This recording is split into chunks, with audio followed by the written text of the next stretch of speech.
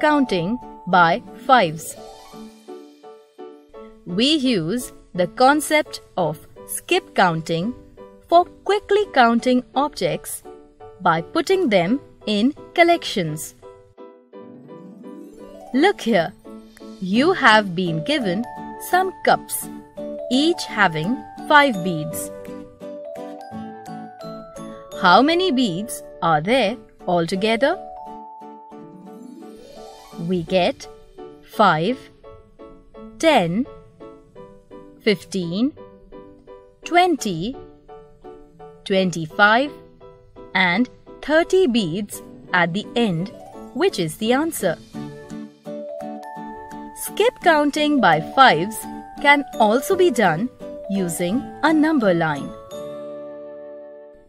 Here, in order to skip count by fives, we skip four numbers and jump to the fifth number.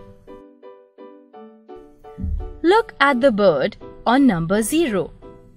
To skip count by fives, it will skip four numbers 1, 2, 3, 4 and hop to number 5.